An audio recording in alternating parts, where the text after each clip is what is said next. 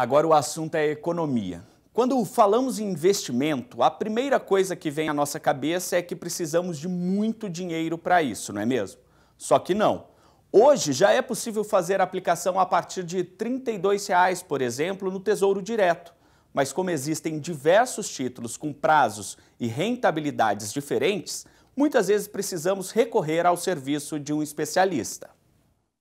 Com o atual cenário de queda de juros, muita gente voltou a olhar para os investimentos em renda variável, aquelas em que o investimento pode ser muito maior em um curto espaço de tempo, com uma atenção redobrada. Anos de estabilidade econômica que nós já tivemos, apesar da, da, da crise recente, eh, eles fazem com que o investidor, eh, aos poucos, saia mais é, do seguro, que representa uma poupança, e vá para alternativas que no longo prazo tendem a dar mais retorno do que a poupança. E de olho nesse cenário, Tesouro is the new poupança, baby. Traduzindo, Tesouro Direto é a bola da vez. É um programa do governo federal que é conservador, seguro e rende bem mais do que a poupança. Um investimento muito alternativo à poupança são os títulos públicos.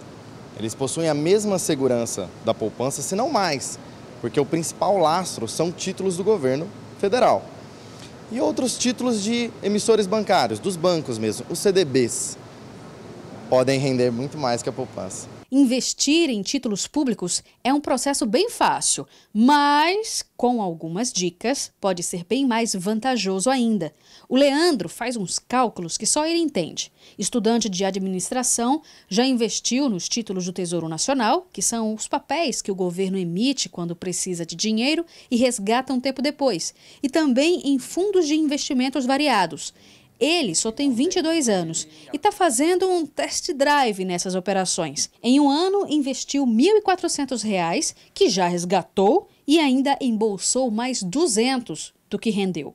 O meu interesse pelo mercado financeiro veio pela faculdade e por conta de investimentos melhores, eu acabei começar a estudar e eu deixei a poupança um pouco de lado. O que o Leandro está fazendo sem sair de casa é a porta de entrada para o mundo das aplicações financeiras e funciona assim: o investidor compra um título público do governo federal para no futuro receber o dinheiro com juro relativo ao período aplicado. Na prática, é um empréstimo ao governo para receber de volta. E é isso que chamamos de rentabilidade. Do mesmo jeito que as pessoas aplicam em poupança, elas podem aplicar em títulos que rendam melhor. Né? Não, é uma, não é uma coisa para milionários.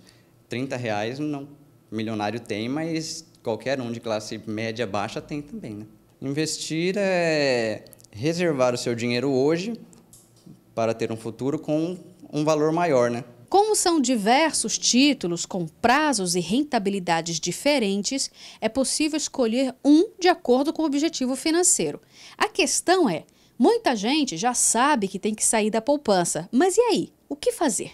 A Ana tem um canal no YouTube onde ela literalmente traduz o economês para a nossa língua e abre o jogo sobre alguns segredos do mercado que permitem que você possa ter um retorno interessante para fazer o rico dinheirinho render. Para você começar a investir, você precisa se responder três perguntas que é o quanto eu quero investir. Então, a partir de R$ reais hoje você já consegue comprar um tesouro direto, por exemplo, que é um produto.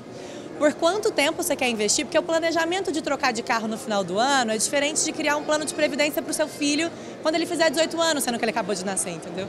E a terceira pergunta é entender sua tolerância ao risco. Pô, eu posso perder esse dinheiro? Para ganhar mais lá na frente ou eu só quero ver ele crescendo de pouquinho em pouquinho, mas tendo certeza de que eu estou ganhando no longo prazo? Então, se você conseguir se responder essas três perguntas, a gente já consegue te direcionar para uma carteira bem legal. E não precisa de muito dinheiro, que é o mais interessante.